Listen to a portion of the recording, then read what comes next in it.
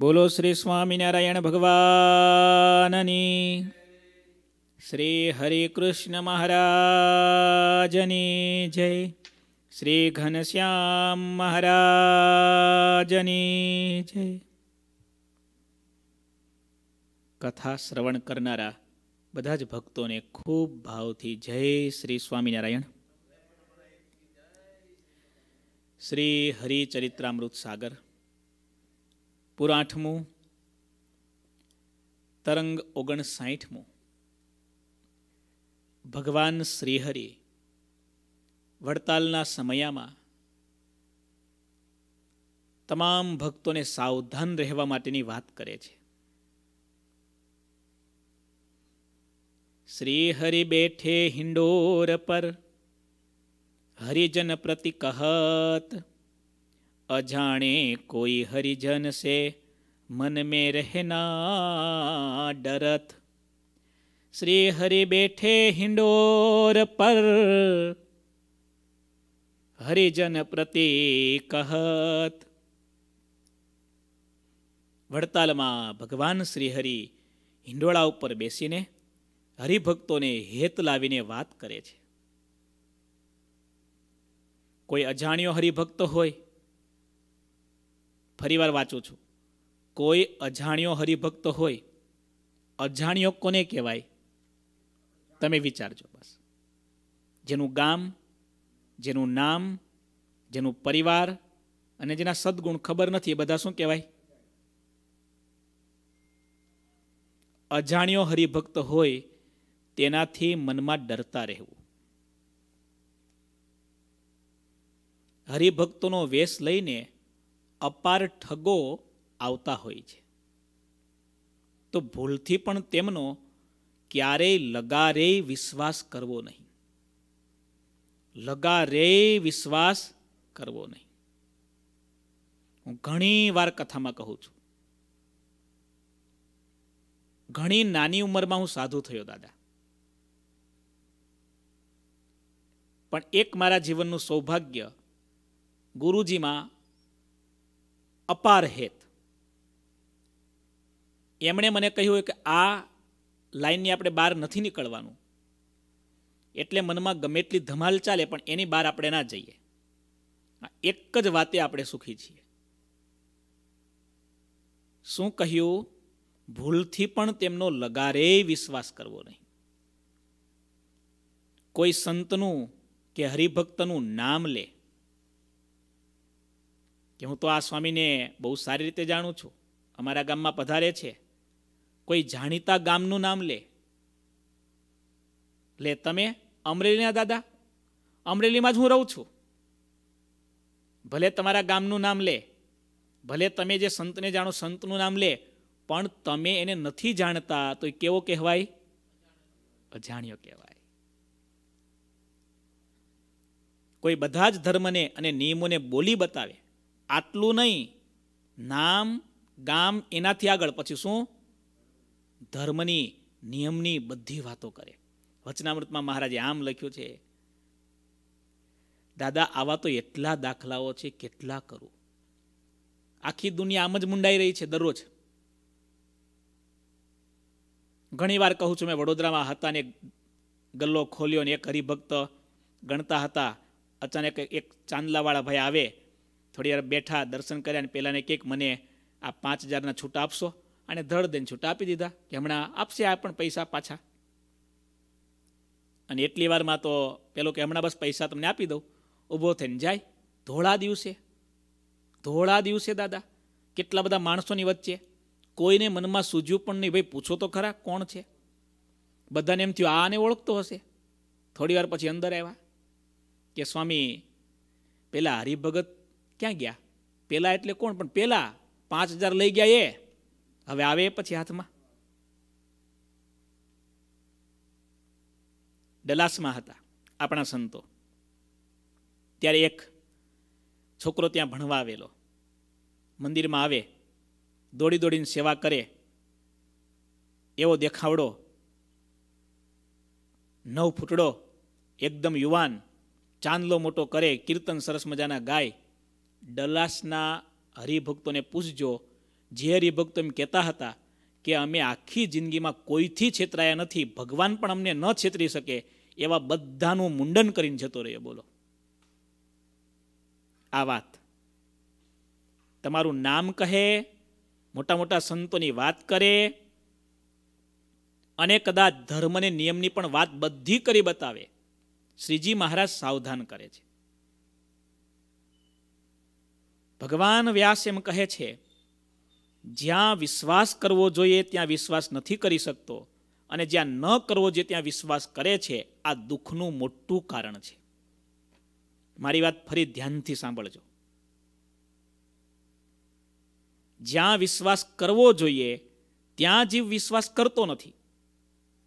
અને જ્યાં ન કરવો જોઈએ, ત્યાં કરે છે, આ જ દુઃખનું મોટું કારણ છે. મહાભારત ભગવાન વ્યાસ કહે છે. હું ઘણી વાર કથામાં વાત કરું છું, ઘણી વાર. મારી વાત બહુ શાસ્ત્રીય છે. સાગરમાં પણ શબ્દ સાથે આવી છે. બીજા અનેક ગ્રંથોમાં આવી છે. કઈ વાત? તમને દયા આવે ને તો ઘણા ઉપર કરી દેવી આપણે. દયા એટલે શું, દાદા? સાંભળો. દાદા, આપણે રોડ પર જતા હોઈએ. કોઈક આપણને દુખ્યો દેખાય આપણે આપી દઈએ. પછી લેવાની આશા નથી છે. એટલે આપણે દુઃખી ન થઈએ. પણ તમે કોઈને ઉછીને આપો અથવા તો ડબલ કરવા આપો, કોક તમને કહે સુરતમાં હમણાં એક હરિભક્ત, કેટલા હરિભક્તોને મૂંડીને હમણાંની તાજી ઘટના. કોઈના પચીસ લાખ, કોઈના પાંચ લાખ, કોઈકના કરોડ, કેટલા કરોડોનું કરીને બે ત્રણને કરી દીધું. એક વર્ષમાં ડબલ. કોણ ના આપે?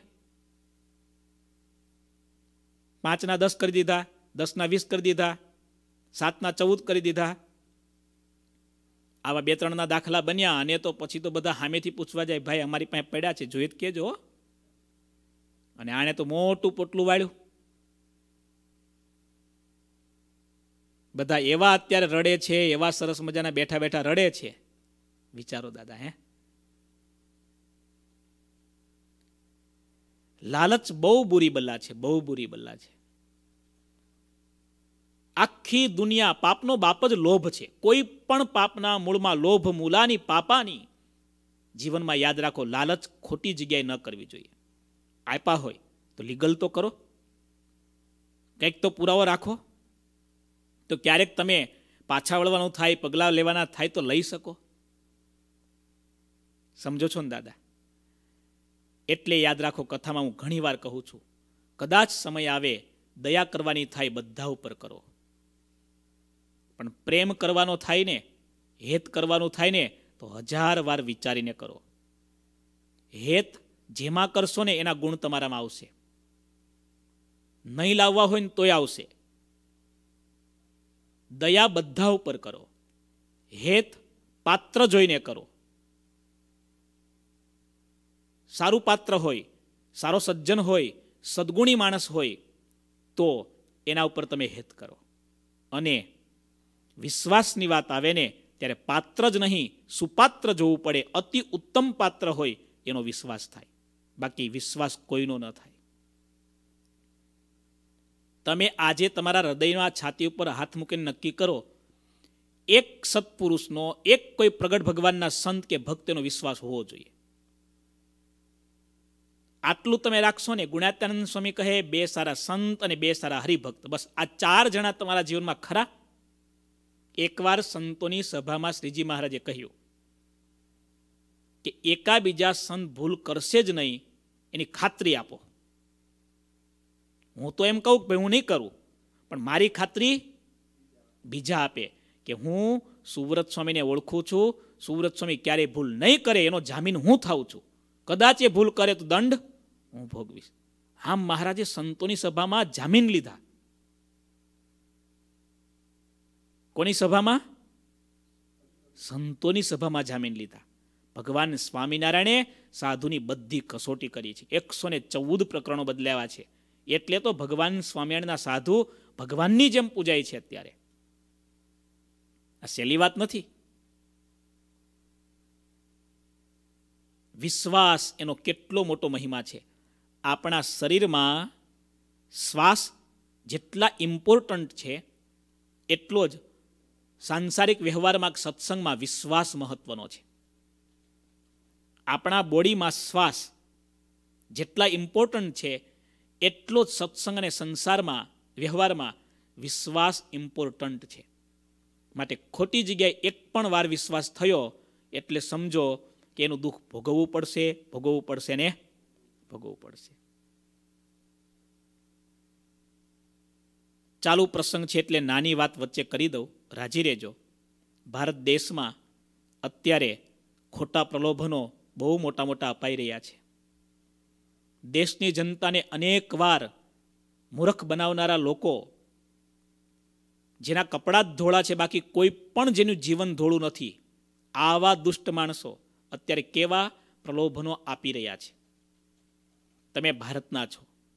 પૂજ્યપાદ ગુરુજીને એક અત્યારે લગ્ની છે કે ધર્મ તો જ સલામત છે જો દેશ સલામત હોય. સમાજ, વ્યક્તિ કે ધર્મ આ ત્રણેયની સલામતી દેશની સલામતી ઉપર આધાર રાખે છે.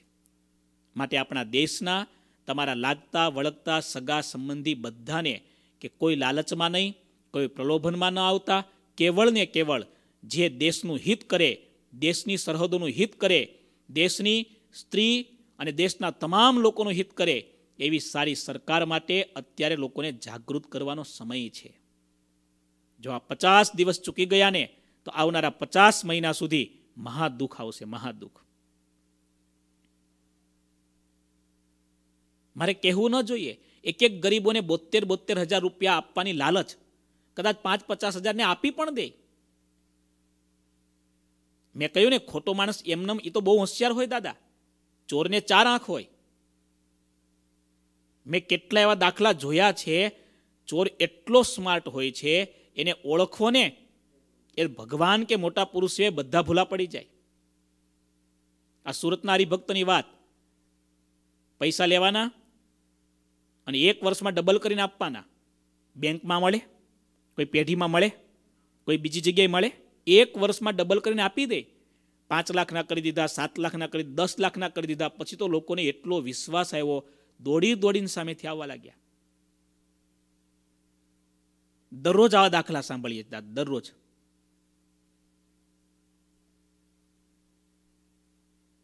આવી રીતે લોકોને વિશ્વાસમાં લઈ લે પહેલાં. અને પછી વિશ્વાસ બધા મૂકે, એટલે એક મોટી સ્કીમમાં કરોડ, બે કરોડ, પાંચ કરોડ ભેગા કરીને પછી ઉઠામણું કરીને જતા રહે. આપણા દેસાઈ સર આફ્રિકા જવું હતું. ટિકિટ લીધી. બહુ સારો એજન્ટ, બહુ સસ્તો ભાવ. એક દિવસમાં કેટલા લોકોના પૈસા લઈ અને દુકાન બંધ કરીને જતો રહ્યો. હજી હાથમાં નથી આવેલો આપણા એક હરિભક્તનો દીકરો કેનેડા આવવું હતું. એટલી સારી સ્કીમ બતાવી. અહીંયાથી તને ત્યાં જોબ અપાવી દઉં, વિઝા અપાવી દઉં, રહેવાની વ્યવસ્થા કરી દઉં. આટલા પૈસા આ સ્ટેજે આપવાના, આટલા પૈસા બધું સ્ટેટમેન્ટ નક્કી થયું. સાત લાખનો કોન્ટ્રાક્ટ કર્યો. પાસપોર્ટમાં વિઝાનો સ્ટેમ્પ બતાવ્યો ફોટો દ્વારા. વોટ્સઅપમાં ફોટો મોકલ્યો. જો તારા પાસપોર્ટમાં સ્ટેમ્પ લાગી ગયો, કેનેડાના વિઝા મળી ગયા, હવે તારે ત્રણ લાખ આપવાના. આપી દીધા ત્રણ લાખ. રાજી થાય ને? સ્ટેમ્પ આવી ગયો. પછી હવે તારે જોબનું સર્ટિફિકેટ આવે એટલે બીજા તારે ચાર લાખ આપી દેવાના. જોબનું સર્ટિફિકેટ મગાવી દીધું, આપી દીધું. નથી એજન્ટ હાથમાં આવ્યો અને નથી પાસપોર્ટ હાથમાં આવ્યો, વિચારો તમે. કેટલા મહિનાઓ થયા, કેટલા પોલીસ કેસ કર્યા, શું થાય આમાં? અને આમ તો એકને નહીં, કેટલાનું મુંડન કરીને. લોકો રડે છે કે તારે પૈસા લઈ જાઓ, લઈ જા પણ અમારો પાસપોર્ટ તો પાછો આપ ભલા માણસ. દેખતે રે ઇન્સાન કે હાલત, ક્યા હો ગઈ ભગવાન? જીતના કિતના બદલ ગયા ઇન્સાન. માટે વિશ્વાસ ખોટી જગ્યાએ ન મૂકો. તમે બીજા કોઈ પણ સાથે કંઈક પણ કામ કરો ને કાયદાથી કામ કરો. કન્ડિશનના આધારે કામ કરો. અનકન્ડિશનલ લવ મારી વાત સાંભળજો. અનકન્ડિશનલ લવ અથવા તો બ્લાઇન્ડ ફેથ ક્યાં રાખવાની છે? એક મહારાજમાં અને એક મોટા પુરુષમાં. બાકી પેપર વર્ક પાક્કું કરો. બરાબર? કે આઘો પાછો થાય, આપણે બધા પગલાં લઈ શકીએ. આ દેશમાં તમે જુઓ. અમે રોજ રહીએ છીએ, કેટલી બધી વાતો સાંભળીએ છીએ, પણ એવી છેતરપિંડી આ દેશમાં નથી. કારણ કાયદો અને વ્યવસ્થા છે. અને આપણા દેશમાં બધા લોકો કાયદોની વ્યવસ્થા તોડવા બેઠા છે. બધાને કાયદો નથી જોતો, વ્યવસ્થા નથી. કેવલ મારો સ્વાર્થ ફૂલફિલ થાય આટલું જ જોઈએ છે. બે લાલચુ ભેગા થયા હોય તો શું દશા થાય? ઘેટાઓના ટોળાને ભેગા કરી એક મોટા માણસે પ્રવચનમાં વાત કરી કે, ભાઈ, તમને બધા ઘેટાઓને એક એક ધાબળો ફ્રીમાં આપીશું. ઘેટાઓ એટલા રાજી થઈ ગયા. તાળીઓ પાડી, અભિનંદન કર્યા. બધા ઘરે આવીને શાંતિ સૂઈ ગયા. એક નાના ઘેટાના બચ્ચાએ એના મધરને પ્રશ્ન પૂછ્યો કે, મમ્મી, આ લોકોએ આટલા બધા ધાબળા આપવાનું પ્રોમિસ કર્યું છે, તો એ ધાબળા લાવશે ક્યાંથી? ક્યાંથી લાવશે? આપણું જ ઊન ઉતારી અને આપણને ધાબળા આપશે. આ ગરીબોને બોતેર હજાર રૂપિયા આપવાની લાલચ આપનારા માણસો પૈસા ક્યાંથી લાવશે? સ્વિટ્ઝરલેન્ડની બેંકમાંથી લાવવાના છે? દુઃખની વાત થાય. સમાજને સાવધાન થવાનો સમય આવી ગયો છે. ખોટી લાલચમાં ફસાઈ જાય છે ને, પછી માણસ બહુ દુઃખી થાય છે. શ્રીજી મહારાજ એ વાત કરે છે કે તમને ગમે તેવી કોઈક વાત કરે, જુઓ. કેવી વાત કહે છે, શ્રીજી મહારાજ ગમે તેવી વાત કરે. હું તો તમને ઓળખું છું એમ કે ઘણા. પેલા બચ્ચુની વાત હું નથી કહેતો ઘણી વાર હા, બહુ આવા દાખલા બને છે આ બચ્ચુના. એક દાદા હરિદ્વાર ગયા, સ્નાન કરવા ઉભેલા ગંગાના કિનારે અને ગંગાજીનો પ્રવાહ અને દાદાને મનમાં સ્નાન કરવાનો હરખ, પણ દાદામ જોયા કરે. એમાં એક છોકરો દોડતો એ કાકા કાકા કાકા કાકા, તું કોણ બેટા? હું બચ્ચું. તમને હું મળ્યો તો ભૂલી ગયા તમે દાદા? હવે આ દાદાને તો, દાદા કંઈ કામ છે મારે લાયક તો કહેજો દાદા કે મારે સ્નાન કરવું છે, અહીંયા કપડાં મૂકું, થોડી વાર ધ્યાન રાખને બેટા. ચોક્કસ દાદા, તમે નાહી લો બરાબર. દાદાએ તો બધું વિશ્વાસે મૂક્યું, બચ્ચુંના વિશ્વાસે. નાવા પડ્યા. નાઈન જ્યાં બહાર નીકળે, ના મળે બચ્ચું, ના મળે કપડાં, ના મળે પાકીટ.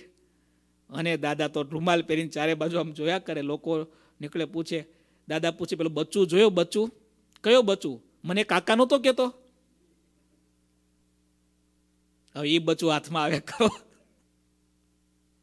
આવે દાદા. અજાણ્યા માણસનો લગારે વિશ્વાસ કરવો નહીં. બોલો. આ શાસ્ત્રમાં લખેલું છે. તમને મારે એટલું સમજાવું, અજાણ્યો કોને કહેવાય? એ તમારે વિચારવાનું છે. નામ લે, ગામની વાત કરે ધર્મ નિયમની વાત કરે શાસ્ત્ર ને સંતની વાત કરે, તો પણ વિશ્વાસ નહીં. હા, વિશ્વાસ ક્યારે કરવો? કોઈ સંત અથવા હરિભક્ત આવીને એમ કહે, અમે તેને ઓળખીએ છીએ. હું જામીન થાઉં છું. હું ખાતરી આપું છું કે આ માણસ સાચો છે. એ જ ગામનો છે. વિશ્વાસ કરવા જેવો છે. આમ કહે, તો તે વાતને સાચી માનવી અને વિશ્વાસ મૂકવો. કેવી જોરદાર વાત આવી દાદા. કોઈક તમને એમ કે ભાઈ સુરત સ્વામીથી તો હું બહુ નજીક છું. આપણે લોયાધામ પરિવારમાં ચાર પાંચ દાખલા બની ગયા છે એવા. ગુરુજીનું નામ લે, ગુરુજીની સાથેના ફોટા બતાવે, હરિભક્તો આગળ રડે અને પૈસા લઈને જતા રહે. પછી તો આપણને ખબર પડે કે આપણા નામે કેટલા લોકોને મૂંડી નાખ્યા. પણ ગુરુજી તમને એમ કહે, સુરત સ્વામી કે નિષ્કામ સ્વામી તમને એમ કહે કે હા, આ ભગત તો અથવા તમારી ફરજ છે, તમારે દયા કરવી જ છે, તો એકવાર સંતોને ડાયરેક્ટ પૂછી લો કે, સ્વામી, આ માણસ, આ ગામનો વ્યક્તિ આવ્યો છે ને આવી જરૂર છે ને તમારું નામ લે છે, તો શું કરવું પૂછવું જોઈએ કે નહીં, દાદા? કેવી જોરદાર મહારાજે નાની નાની વાત કરી. હજી તો જો, આજે તો મહારાજ ઘણું કહેવાના છે. કેમ કે સમયો ચાલુ થાય છે ને. લાખો માણસો ભેગા થયા છે ને. પણ અજાણ્યાનો વિશ્વાસ ક્યારેય કરવો નહીં. અહીંયા જે કોઈ સત્સંગી બાઈ ભાઈ હરતા ફરતા હોય, તેમણે પોતાની પાસે ધન જાજુ રાખવું નહીં. કારણ કે તમે ધનની ગાંઠ છોડો અને બાંધો, એમ તમે લેમુક કરતા હો, એને જોઈને ઠગ તમારી નજીક આવશે. રૂપ અને રૂપિયા. એક રૂપ અને બીજું રૂપિયા. આ બે જેની પાસે હોય ને એને બહુ સાવધાન થઈને જીવવું જોઈએ. ખતરા બે જગ્યાએ છે. કાં રૂપ ઉપર અને કાં રૂપિયા ઉપર. કેટલાક તો બ્રાહ્મણ જાતિના કહેવાતા હોય. તેવા પણ ચોરીની કળા કરે છે. તીર્થોમાં તો એવા ઘણા લોકો આવતા હોય છે. કપડાં અને પગરખાને ચોરી જતા હોય છે. શ્રીજી મહારાજે કેવી વાતો કરી. આ તીર્થની વાતો નથી, આ વ્યવહારની વાતો છે. બસો વર્ષ પહેલાની વાતો નથી, અત્યારે ઘર ઘર કે આ કહાની છે. તે ઠગ લોકો તો સોના અને ચાંદીના ઘરેણાના, ઘરેણાને તાકતા ફરતા હોય છે. સાહુકારના જેવા થઈને ફરતા હોય, તે ઠગને કોઈ ઓળખી શકતા નથી. જાણ્યા સિવાય કોઈને કંઈ કહી શકાય નહીં. એટલા માટે આપણે પોતે સાવધાની રાખવી જોઈએ. આપણે જ સાવધાની રાખવી જોઈએ. સાવધાની હટી કે દુર્ઘટના ઘટી. નાનું સૂત્ર તમે દરરોજ યાદ રાખો. સાવધાની હટીએ તો દુર્ઘટના તમે રોડ ઉપર ગાડી ચલાવો છો. તમારે સાતસો માઇલ જવાનું છે. તમે બાર કલાકથી ગાડી ચલાવો છો અને તમને એમ થાય કે હવે તો ઘર બસ પચાસ માઇલ છે, એક ઝોલું ખાઈ લઉં, ચાલે? એક માઇલ પણ ન ચાલે દાદા, સાચી વાત ને? અને જીવનની ગાડીમાં આપણે શું કરીએ છીએ? હવે ઝોલા ખાય, પછી ડોલા ખાય કે ના ખાય? આ કથા જે કોઈ સાંભળો છો, ધ્યાન રાખજો. આ વડતાલ ગામના નાના મોટા જેટલા પગી છે, તે બધા હરિભક્તોની ખૂબ સંભાળ રાખે છે. હૃદયના ઉલ્લાસથી આ બધા ભક્તોએ આવી સેવા કરવાનો નિયમ રાખ્યો છે. એટલે મહારાજ કહે છે કે અમે આ બધી વ્યવસ્થા તો કરી છે. રક્ષા કરનારા છે, ઉજાગરો કરનારા પગી છે અને તેથી જ બધા પરદેશમાંથી આવેલા હરિભક્તોના સંઘોને ગામથી બહાર પણ ઉતારા કરાવ્યા છે. છતાં, પરંતુ આ અમે બધું કર્યું છે. પરંતુ તમારે સૌએ તેમને ભરોસે પણ રહેવું નહીં. તમે એમ ન માનતા, પગી જાગે જ છે ને. મહારાજે જોરદાર વ્યવસ્થા કરી જ છે ને. તમારે એના ભરોસે ન રહેવું જોઈએ. કારણ કે સમયામાં અનેક લોકો આવે છે. તેથી ગાફલપણામાં તો વિઘ્ન જ થાય અને પછીથી કોટી વિચાર કરીને જુએ તો પણ મુશ્કેલી આવ્યા વિના રહેતી નથી. લો.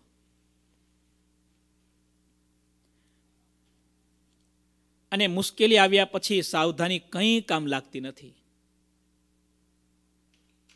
એકવાર કહેવાય છે ને, ચિડિયા ચૂક ગઈ ખેત, ફિર પસ્તાવે ક્યાં હોત હે? એકવાર આગ લાગી ગઈ ને પછી તમે કૂવો ખોદવા બેસો, એ કંઈ ડાયા માણસનું કામ નથી. કંઈક આપણે ત્યાં આવું થાય છે, આપણા દેશની દશા. આ દેશમાં કેવું છે, કોઈ પણ દુર્ઘટના. આ દેશમાં તમે જુઓ, એક દુર્ઘટના ઘટે એટલે એક નવો કાયદો આવે. તમે લગભગ સાંભળતા હશો. હમણાં જ બ્લડ પ્રેશરની દવા, કોઈ હરિભક્તે મને કંપનીના નામ સાથે વાત કરી. બ્લડ પ્રેશરની દવા અમેરિકામાં બહુ પોપ્યુલર થઈ હતી.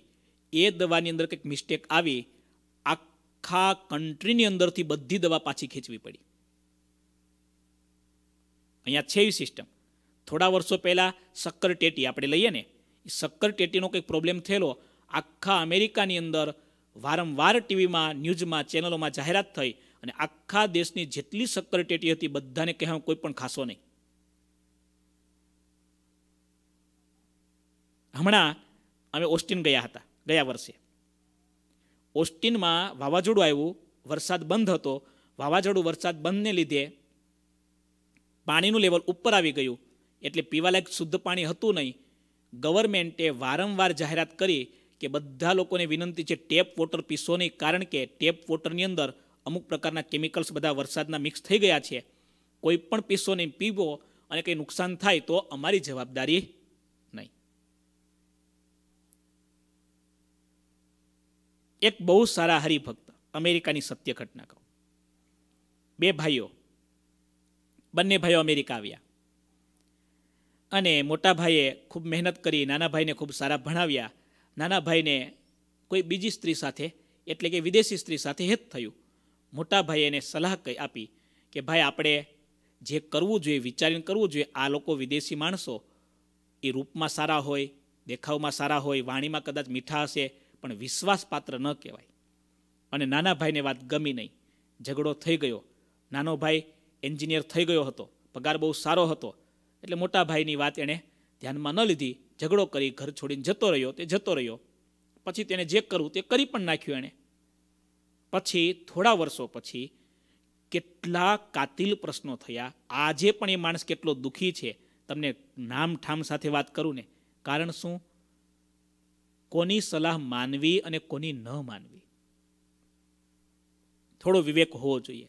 આપણી કોઈ નજીક રહેતા હોય, આપણી કોઈ સાથે રહેતા હોય, બરાબર? માતા પિતા હોય એની સલાહ માનવી જ જોઈએ. આપણે હિતે જ છે? એ કડવી વાત કરે તો પણ હિતની વાત કરતા હોય ને. કોઈ સંત હોય, કોઈ ભગવાનના મોટા ભક્ત હોય, એ કડવી વાત કરે તો પણ હિતની વાત કરે. અને જગતના લોકો મીઠી વાત કરે તો પણ એની વાણીમાં ઝેર છે એમ સમજવું જોઈએ, ઝેર. અને આ જે મોટી તકલીફ એ છે, બધી વાતમાં જો હા હા હા કરો તો કોઈને વાંધો નથી. તમે જે દી કોઈકની વાતમાં ના કરી, એટલે પ્રશ્ન શરૂ થયા. આટલું જ છે ને દાદા. જેને જે કરવું છે એ કરવા દો, તો કોઈને ક્યારેય પ્રોબ્લેમ થાય ન થાય. એટલે જે વડીલ છે, કોઈ પણ વડીલ માતા પિતા હોય, સંતો હોય, ઘરમાં વડીલો હોય, મોટા ભાઈ હોય, એમણે હિંમત રાખી, મજબૂત છાતી કરી, સામેવાળા ન ગમે તો પણ સાચી વાત કરવી જોઈએ એનો ધર્મ છે. એ સાચી વાત નથી કરતા એ ગુનેગાર છે. અને નાના વ્યક્તિ હોય એણે મોટાની વાત સાંભળવી જોઈએ, એ નથી સાંભળતા તો એ ગુનેગાર છે. ભગવાન એને દંડ આપશે. ભગવાનનો નિર્ણય તો એવો છે કે દૂધનું દૂધ અને પાણીનું પાણી કરે જ છે.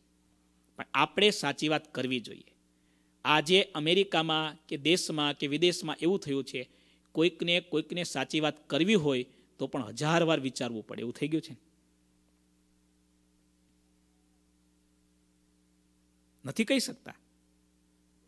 હમણાં ચાર દિવસ પહેલાં જ આપણા ન્યૂજર્સીના એક બહુ સારા ભક્ત અમે બેઠા હતા અને દીકરા માટે એમણે વાત કરી, આપણે શિબિર ચાલતી હતી ને ત્યારે જ, કે સ્વામી, ભલે અમે જાહેરમાં ન કહી શકીએ, પણ ખાનગીમાં તો અમે તમને કહીએ કે આવી પરિસ્થિતિ ખરાબ થઈ રહી છે અત્યારે.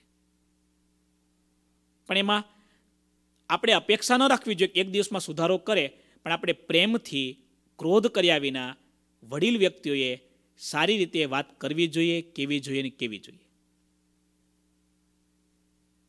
ગુણાત્યાનંદ સ્વામી બોલ્યા, મુમુક્ષુને તો હાકલા પડકાર કરનારા જોઈએ જ. અને તમારે શાસ્ત્રોમાં લખ્યું જે માણસ જે કામમાં સફળ થયા હોય, એ માણસનું જીવન જોવું જોઈએ. એમાંથી તમને સફળતાનો સંદેશો મળશે. આપણા અશ્વિન ભગત. એક નાના હરિભક્ત જ કહેવાય ને બિચારા. ગરીબ હરિભક્ત જ કહેવાય ને. પણ હા, કેટલો નિર્દોષ એનો પ્રેમ, કેવું નિર્દોષ એનું જીવન. ઘરમાં ત્રણ ત્રણ દીકરીઓ, દીકરીઓના જીવન એણે કેવા સુધાર્યા, કેવા સત્સંગમય બનાવ્યા. અશ્વિન ભગતને પૂજ્યપાદ ગુરુજીએ એક સદગુરુની ઉપમા આપી હતી. કેટલી વાર આપી છે? એક સદગુરુ જે કામ કરે ને, એવું મોટું કામ અશ્વિન ભગતે કર્યું છે. દીકરીઓને સત્સંગ આપ્યો જમાયોને સત્સંગ આપ્યો. યજ્ઞેશ ભગતને પણ સત્સંગ આપવામાં અશ્વિન ભગતનો મોટો ફાળો. લાલા ભગત, બરાબર? કમલેશભાઈ કનેક્ટિકટવાળા, આ કેટલા પરિવાર સુધી એમણે સત્સંગ પહોંચાડ્યો. કેવી રીતે? આજે પણ કડવી વાત કરવી હોય ને, તો અશ્વિન ભગત જરાય સંકોચ કરે નહીં. આજે પણ. ઘણાને નથી ગમતું. અશ્વિન ભગત પણ જાણે છે. ભગતનો સ્વભાવ એવો આપણે કહેવાનું. ગમે, ન ગમે એ એણે નક્કી કરવાનું. એણે સ્વીકારવું, ન સ્વીકારવું એ એણે નક્કી કરવાનું. પણ કહેવાની આદત હતી તો આખા પરિવારમાં સંસ્કાર આવ્યા. સત્સંગ આવ્યો. સંપ આવ્યો. સમૃદ્ધિ આવી. સુખ આવ્યું. બધું જ આવ્યું. પણ કહેવાનું જ ન હોય તો? એટલા માટે હું ઘણી વાર કહું છું. સમજણ એનું નામ છે સત્સંગ. નંદ સંતોના ગ્રંથોના આધારે સત્સંગ એટલે સમજણ. સમજણમાં સાચો સત્સંગ છે દાદા.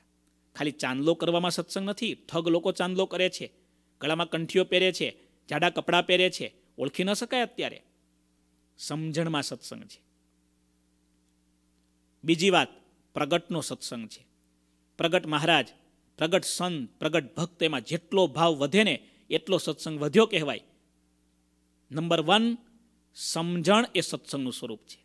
નંબર બે, પ્રગટમાં જેટલો ભાવ વધે એ સત્સંગ સાચો છે. અને નંબર ત્રણ, રોકવા ટોકવાનું જેટલું વધે એ સત્સંગ છે. કોઈ પણ વ્યક્તિ એકાબીજાને કહી શકવા જોઈએ. કચ્છના, આફ્રિકાના હરિભક્તોને મેં જોયા છે દાદા. લક્ષ્મણ બાપા કરસનભાઈ મુંબાસાવાળા, વિઠ્ઠલભાઈ, આ બધા હરિભક્તોના મેં દર્શન કર્યા છે. મહિનાઓ સુધી મેં રહ્યા છીએ. સંત કથા કરતા હોય દાદા. કથા ચાલુ હોય, સામે બેઠા હોય, અને ચાલુ કથામાં કંઈ આડીઅવળી વાત થાય ને, ચાલુ કથામાં કહી દે, સ્વામી, ભગવાનની વાતો કરો, ભગવાનની વાતો કરવા આવ્યા છો. ચાલુ કથામાં કોણ? હરિભક્તો સાધુને કહી શકતા. આ સત્સંગની રીતો છે. હરિભક્તોના જીવન એવા હતા. એનું જીવન જોઈને સાધુ જેવા તેવાની સાથે ચાલી ન શકતા. અને આજે તો હવે બે લોલે, તેરી ભી ચૂપ, મેરી ભી. ચૂપ, આવું થઈ ગયું. નહીં ચાલે. માટે આપણે આપણા જીવનને સલામત રાખવા માટે પણ મહારાજની આજ્ઞા પ્રમાણે રહેવું જોઈએ. કદાચ જીવનમાં ગાફલાઈ આવી જાય, તો આપણને કોઈક સાવધાન કરે અથવા કરી શકે એવા સંત કે ભક્ત એની સાથે રહેવું જોઈએ. શ્રીજી મહારાજ હજી તો ઘણું કહેશે. મુશ્કેલી આવ્યા પછી સાવધાની ગમે એટલી રાખે એ કંઈ કામ લાગતી નથી. પ્રથમથી જે સાવધાની રાખવામાં આવે તે ઉપયોગી બને છે. પહેલી વાત મહારાજે શું કરી? કોઈનો વિશ્વાસ ન કરતા. બીજી વાત શું કરી? ધન, પૈસા, પદાર્થ જાજુ હોય, સાવધાન, દુઃખ આપશે. જમા કરી દેજો કોઠારમાં, મંદિરમાંથી જાઓ ત્યારે લઈ જજો પાછા. આપણો પણ ઉત્સવ આવે છે ત્યારે આ બધી વાત કામ લાગવાની. નંબર ત્રણ, કઈ વાત? હવે મહારાજ કરે છે. જે બાળકોને સાથે લઈને દર્શન કરવા આવ્યા હોય, તેમણે તે બાળકોને સાચવવા. તેમને ક્યાંય એકલા પડવા દેવા નહીં. જો છોકરા ક્યાંક છૂટા પડી જાય, તો પછી તે હાથ ન આવે. ઠગ લોકો તો ઝાઝા માણસોનો ભીડો દેખીને કંઈક લેવા માટે ફરતા હોય. અમારી એવી આજ્ઞા છે કે નાના બાળકોના શરીર ઉપર રતિભાર સોનાનું ઘરેણું કોઈએ ભૂલથી પણ ક્યારેય પહેરાવવું નહીં. કેટલી નાની નાની આજ્ઞા મહારાજ કેવી રીતે કરે છે? આના કરતાં દયાળુ, આના કરતાં હિતકારી, આના કરતાં આપણા આત્માના સાચા સગા કોણ હોઈ શકે? શિક્ષાપત્રી ભાષ્યની કથામાં પૂજ્યપાદ ગુરુજીએ કેટલી નાની, કેટલી ઝીણી વાત ગ્રહસ્થ ધર્મની કરી છે. વાલા ભક્તો, મારી આપ સૌને વિનંતી છે. આવી કથા વારંવાર સાંભળજો. આવી કથા વારંવાર વિચારજો. આખી દુનિયામાં આગ લાગી છે. આપણે શરૂઆત કરીએ આપણા જીવન અને પરિવારથી. બસ, મારે માયાની આગમાંથી બચવું છે, મારા પરિવારને બચાવવો છે, મહારાજને ગમે એવું જીવન જીવવું છે અને કરવું છે. આપણો સંકલ્પ મજબૂત કરીએ અને એ દિશામાં આગળ વધીએ. મહારાજે ઘણી સાવધાની કરી છે. જ્યારે તમે પોતાને ઘેર પાછા જાઓ, ત્યારે પોતાની રીત પ્રમાણે વિચારીને રહેજો. અત્યારે તો અમે તમારા હિતને માટે કહીએ છીએ. અગાઉથી જે વાત કહી હોય તે ઉપયોગમાં આવે અને તેથી જે વિચક્ષણ મનુષ્ય હોય તે ક્યારેય ગાફલ રહે નહીં. અમે આટલી બધી વાત કરીએ છીએ તો પણ આ ડાયા માણસને કામ લાગવાની જે ડાયા નથી એ તો કોઈ ધ્યાન રાખવાના નથી. અમને ખબર જ છે, પણ અમારી ફરજ છે વાત કરવી એટલે અમે વાત તમને કરી. અમે અમારો ધર્મ પાળ્યો એટલે અમારું કામ હવે પૂરું થયું. જોયું? શ્રીજી મહારાજ ભગવાન છે છતાં કેવી વાત કરે છે? અમે કહેલી આટલી વાત સાંભળ્યા પછી જે ગાફલ રહેશે, તેને કંઈક ને કંઈક વિઘ્ન થશે. એમાં અમારો કોઈ વાક કાઢશો માં?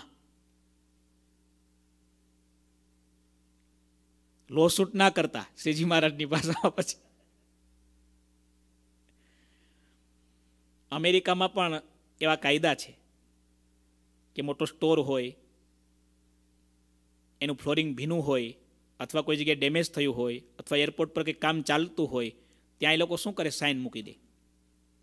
હવે સાઇન મૂકી દે બેરિયર મૂકી દીધું હોય અને પછી કોઈ પડે, કોઈ લપસે, કોઈ ભટકાય, તો કોનો ગુનો? પડનારનો. અમે ભાઈ સાઇન મૂકી દીધી છે. એમ આપણે ધર્મની વાત કરી દીધી હોય ને પછી પેલો ભૂલ કરે તો કોનો ગુનો? ભૂલ કરનારનો. પણ આપણે કીધું જ ન હોય તો કોનો ગુનો? તો આપણો. સમજી ગયા ને તમે? મહારાજ કહે છે, અમે આ વાત કરી દીધી અને હવે જો કોઈ ગાફલ રહેશે, એને કંઈક ને કંઈક વિઘ્ન થવાનું, પછી અમારો વાક કાઢશો નહીં.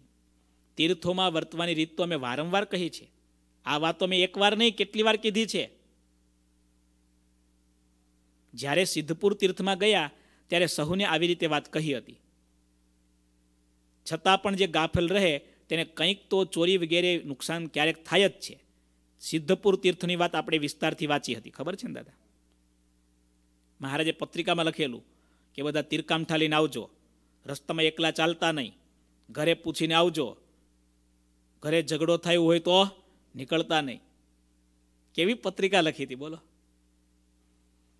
અને જેતલપુરમાં જ્યારે આવ્યા, ફૂલદોળનો ઉત્સવ કરવાનું નક્કી કર્યું, ત્યારે જે હરિભક્તો બાઈભાઈ આવ્યા હતા, તેમને પણ અમે આ બધી વાત સંભળાવી હતી. જેણે તે વાતને સમજી રાખી હોય, તેને તે વાત ઉપયોગી થાય છે. અને જે એ વાતને ભૂલી જાય છે, તો એના માટે એ વાત કામ લાગતી નથી. જે મનુષ્ય ભોજન ખાય, તેની ભૂખ જાય. વગર ખાધે ભૂખ ક્યાંથી જાય? અમારી વાતને યાદ રાખ્યા વિના ઉપયોગી ક્યાંથી થાય? શ્રીજી મહારાજ પ્રગટ હતા ને, ત્યારે બહુ દાખલા બન્યા છે, દાદા. આ તો ભગવાન છે, પરબ્રહ્મ છે. દાદા ખાચરના પિતાજી એભલ ખાચર. એમણે દરબારની અંદર એક માણસને રાખ્યો. આ કામ કરવાવાળો માણસ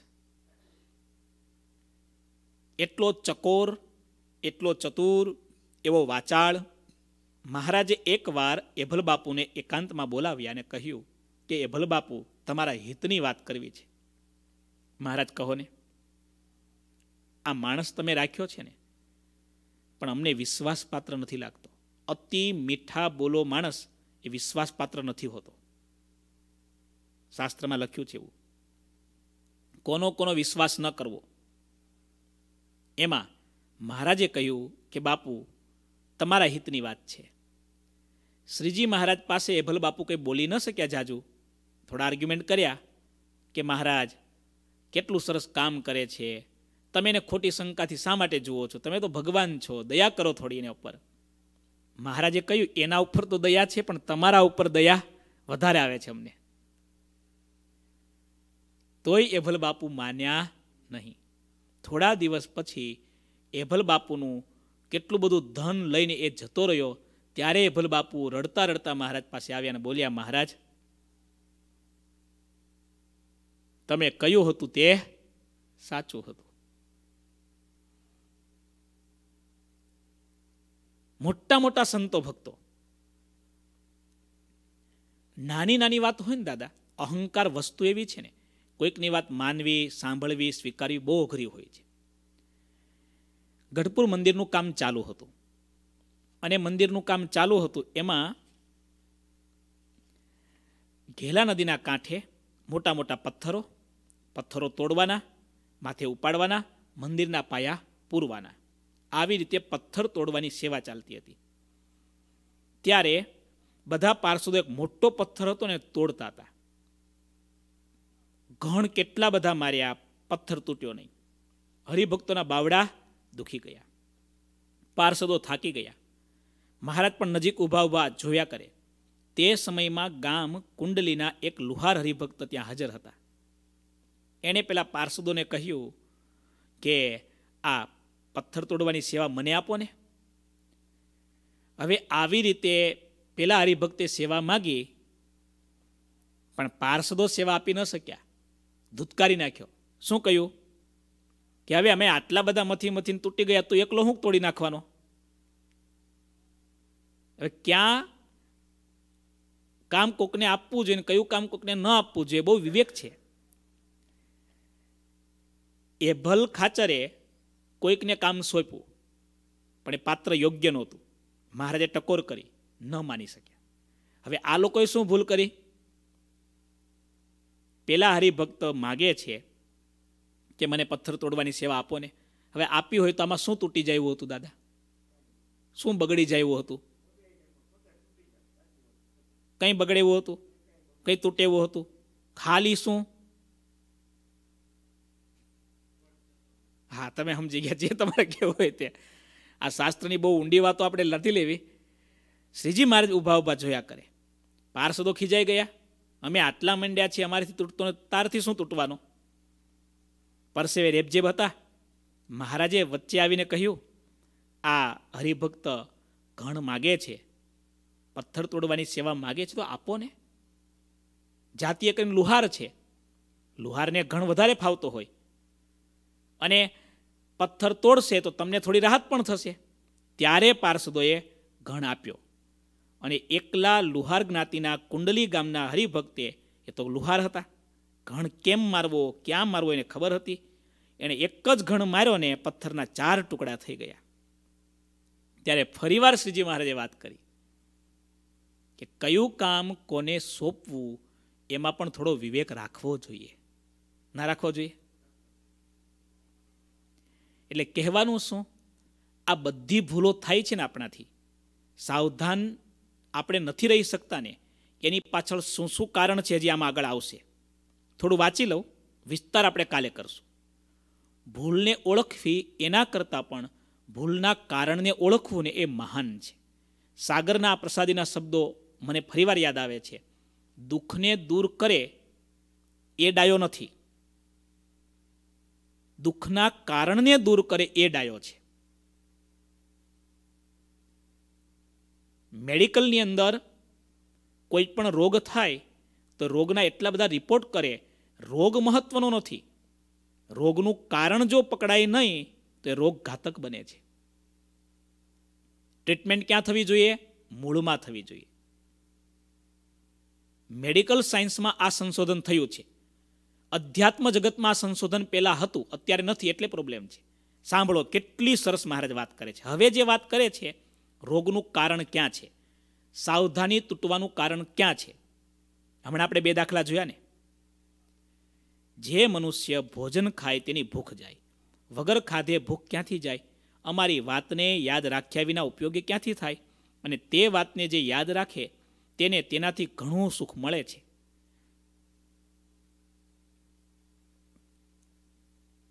આંખો હિતકારી વાતને, વસ્તુને કહી દેખાડે છે.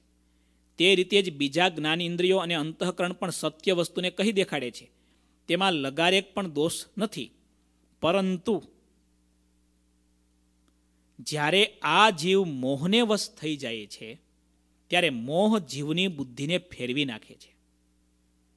અને જ્યારે જીવ મોહને આધીન થઈ જાય છે, એટલે તરત જ તે પરાધીન બને છે. મોહ એવી ચીજ છે, તે પોતાના પરમ હિતેચ્છુ મિત્રની સાથે પણ વેર કરાવે છે. તે પ્રસિદ્ધ રીતે દેખાય છે અને પોતાના હિતને દેખ્યું હોય છતાં ભૂલવી દે છે. કેમ જે મોહનું તો આ જ કામ છે. કામ, ક્રોધ, લોભ અને અહંકાર એ બધા મોહના જેવા નઠારા છે.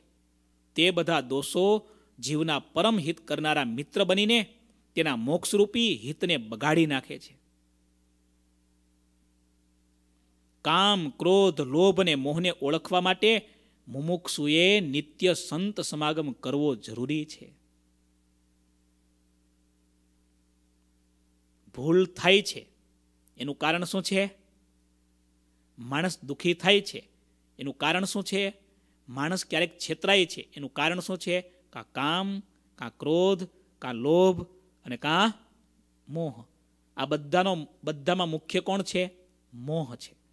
સીતાજી જેવા સીતાજી કઈ ભૂલ કરી? સીતા માતાએ સોનાના હરણને વિશે દ્રષ્ટિ કરી મોહિત થયા અને પોતાના પતિ જેની આજ્ઞામાં અખંડ રહેતા હતા એ પતિને હરણની પાછળ મોકલ્યા. જાણીએ છીએ ને આપણે? જાણીએ છીએ ને કથા? રામ સીતાની હાજરીમાં કહીને ગયા છે. લખનને. તેમ છતાં લખનને કડવા વેણ મારીને રામની પાછળ મોકલ્યા. સીતાએ એક ભૂલ નથી કરી. હરણમાં મોહિત થયા પહેલી ભૂલ. મોહિત થયા પછી પોતાના પતિ છે રામ. પત્નીએ પતિની આજ્ઞામાં રહેવાનું હોય, આજ્ઞા કરવાની ન હોય, પરાણે રામને સીતાએ હરણની પાછળ મોકલ્યા. બીજી ભૂલ. જતા જતા રામ લખનને કહીને ગયા હતા. તેમ છતાં સીતા મોહિત એટલા બધા બન્યા હતા મુગ્ધ બન્યા હતા. શું કરવું, શું ન કરવું, વિવેક ચૂકી ગયા હતા. આપણે આના વિશે ઘણી ચર્ચા કરવી છે. આવતીકાલે તમે બધા ભક્તો વચનામૃત છે ગઢપુર મધ્ય પ્રકરણનું પહેલું. વચનામૃત, ગઢપુર મધ્ય પ્રકરણનું પહેલું. મોહ ઉદય થયાનું. મોહ એટલે શું? મોહ કેવી રીતે ઉપજે છે? મોહ ઉપજે ત્યારે શું થાય? આ ત્રણ વસ્તુ મહારાજે આ વચનામૃતમાં બતાવી છે. પૂજ્યપાદ ગુરુજીએ અમે નાના હતા ત્યારે નાની નાની એવી વાતો અમને મગજમાં પાકી કરાવી. કોઈ પણ દુનિયાની વાત એ એની દ્રષ્ટિએ ભલે સાચી હોય, પણ આપણા માટે તો વચનામૃતમાં જે વાત છે એના જેવું સત્ય ક્યાંય નથી. બીજું બધું અમે વાંચીએ છીએ, સાંભળીએ છીએ, પણ વિશ્વાસ ક્યાં કરીએ છીએ કેવળ? આ વચનામૃત મહારાજની વાણીમાં. તમે બધા પણ થોડો અભ્યાસ કરો. મહારાજ શું બોલ્યા? કામ, ક્રોધ, લોભ, અહંકાર આ બધા દોષોને ઓળખવા માટે મુમુક્ષુએ નિત્ય સંત સમાગમ કરવો. સાધુના સંગમાં હોય ને એને ખબર પડે કંઈક મારી ભૂલ થઈ રહી છે. કંઈક મારે સુધારો કરવાની જરૂર છે. અને સંત સમાગમ નથી કરતો ને એને સામેવાળાની ભૂલ દેખાય. પેલો આમ કરે છે, પેલો આમ કરે છે આમ કરે છે તે એમ કરે છે. પોતાનું ન દેખાય. એટલે બધાનું કારણ મોહ છે. મોહ સકલ વ્યાધિન કર મૂલા, તિન તે ઉપજહી પુની બહુ સોલા. જગતની માતા સીતાજી આદ્ય શક્તિ છે, ભગવાનના અર્ધાંગના છે, પત્ની છે. કેટલું મોટું દુઃખ આવ્યું, કેટલું મોટું. એના મૂળમાં શું હતું? મોહ. તુલસીદાસજી મહારાજને દુઃખ સાથે કહેવું પડ્યું માં સીતા જેવા સીતા મોહિત બન્યા. મોહવશ થયા. દશરથ શા માટે દુઃખી થયા? મોહવશ થયા. એક પત્નીને સંધ્યા સમયે એવા વશ થયા કે રામને વનવાસ અને ભરતને ગાદી આપણે જાણીએ છીએ. મોહ કેટલો ખતરનાક છે. ભરત કેવા, દશરથ કેવા જ્ઞાની હતા. સીતા કેવા મહાન હતા. એને જો દુઃખ આવે તો આપણે બોલો.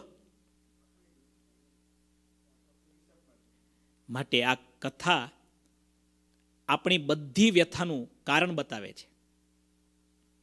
તો આપણે આ કથા હજી એકવીસ ચોપાઈ સુધીની થઈ છે. ત્યારથી આગળની કથા આવતીકાલે શ્રવણ કરીશું. બોલો ઘનશ્યામ મહારાજની જય. શ્રીપતિમ શ્રીધરમ સર્વદેવેશ્વરમ ભક્તિધર્માત્મજમ વાસુદેવમ હરે માધવમ કેશવમ કામદમ કારણમ સ્વામિનારાયણમ નીલકંઠમ ભજે